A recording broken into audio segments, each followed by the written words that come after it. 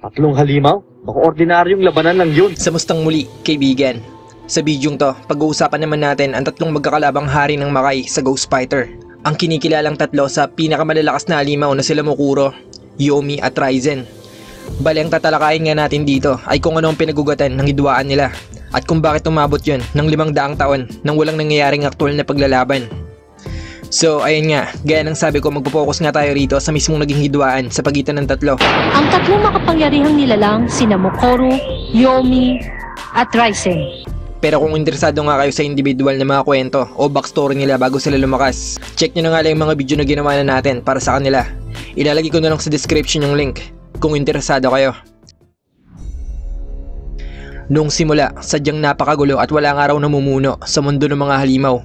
Sa katunayan, ang kalayaan nilang gawin ang anumang nais nilang gawin nga raw ang pinakitinuturing na patakaran ng bawat halimaw.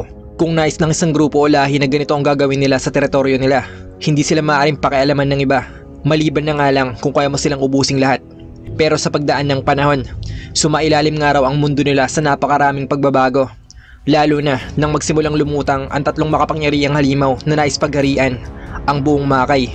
At ito nga ay sila Ryzen, Mukuro, at Yomi. Ang bawat isa, nagnanais na mamuno sa magulong mundo na masasamang spirito. Bale nung una, ang pangalan lamang ni Ryzen at Mukuro ang tanyag sa mundo ng mga halimaw. Bagamat may tuturing silang magkatunggali dahil parehong may malawak na nasasakupan. Hindi sila kailanman naglaban dahil pareho nilang naiintindihan ang nag-iisang patakaran noong mga panahon na yon. Ang hayaan ng bawat isa sa anumang nais nila. Sa kasamang palad, nagbago nga ang lahat nang magsimulang tumigil si Ryzen sa pagkain ng mga tao.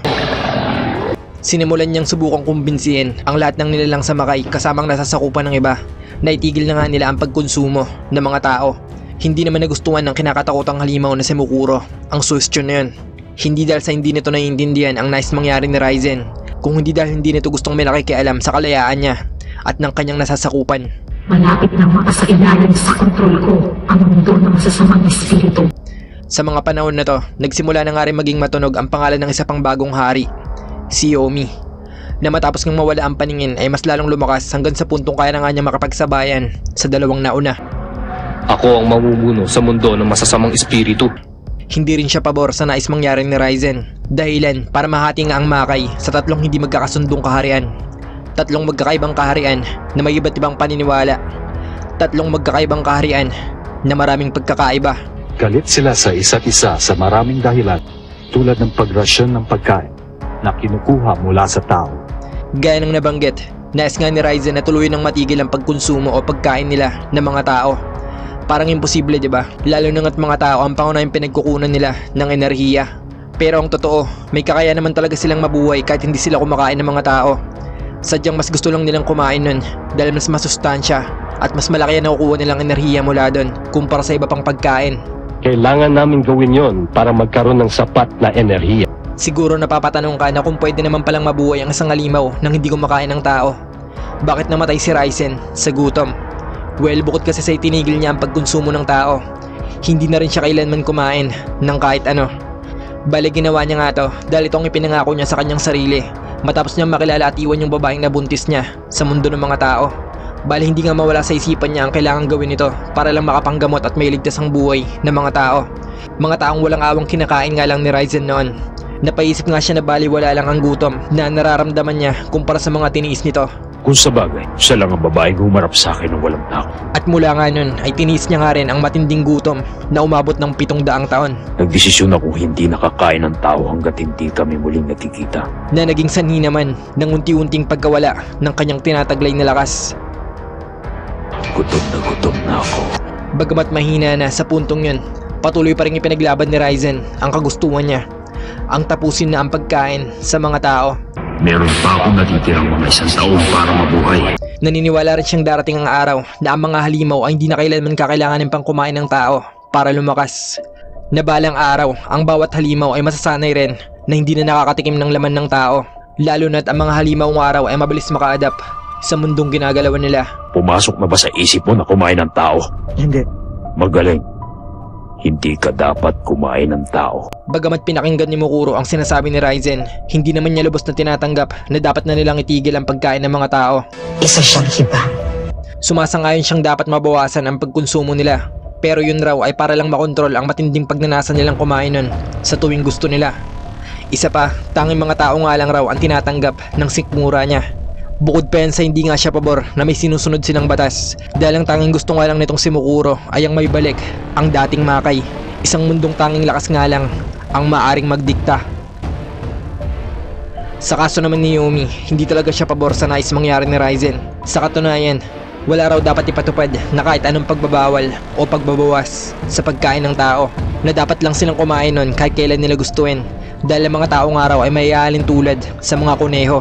Masyado raw silang mabilis magparami kahit hindi magiging problema kahit kailan ang pagkaubos nila. Nais rin pagharian ni Yumi ang buong makay at nagnanais nga na pagharian ng mundo ng mga tao at mundo ng mga espiritu. Balang araw. Hindi ko na kailangang magpaligoy-ligoy pa. At yun nga, dahil alam niyo na nga ang pinaglalaban itong tatlo. Sagutin naman natin ang katanungan kung bakit nga ba umabot ng limang daang taon ang hidwaan nila. Bakit nga ba wala ni isa sa kanila ang umatake sa loob ng mahabang panahon na yun? Takot ba sila sa isa't isa? Well, kung tutuusin, hindi sana naabot ang lahat sa ganito kung kumakain lamang si Ryzen at napanatili niya ang dati niyang lakas. Kasi gaya nga ng sabi ni Enki, walang binatbat ng si Mukuro at Yomi kung yung dating Ryzen ang makakalaban nila.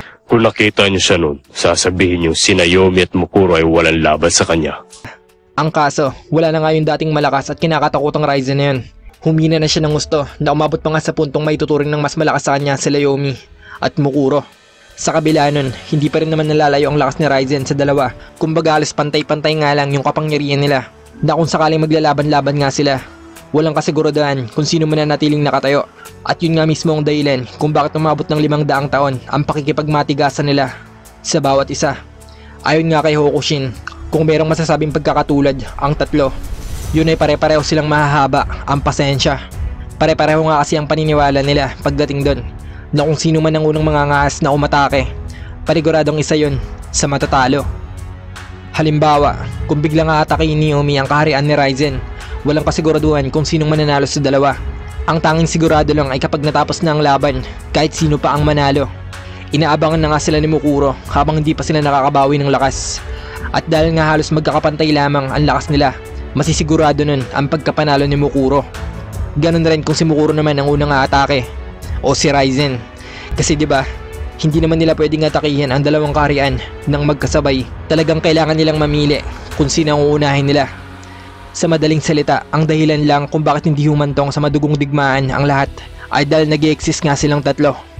Bagamat hindi magkakasundo, ang halos pare-pareho nilang antas ng kapangyarihan ang naging daan para magkaroon ng pansamantalang balanse sa mundo ng mga halimaw. At yun rin ang dahilan kung bakit pinili na nga lang hintayin nila Yomi at Mukuro na pumanaw si Ryzen. Hindi dahil sa hindi nila kayang talunin to, kung hindi dahil nag-iingat lang silang maisan ng isa pang nag-aabang na kalaban.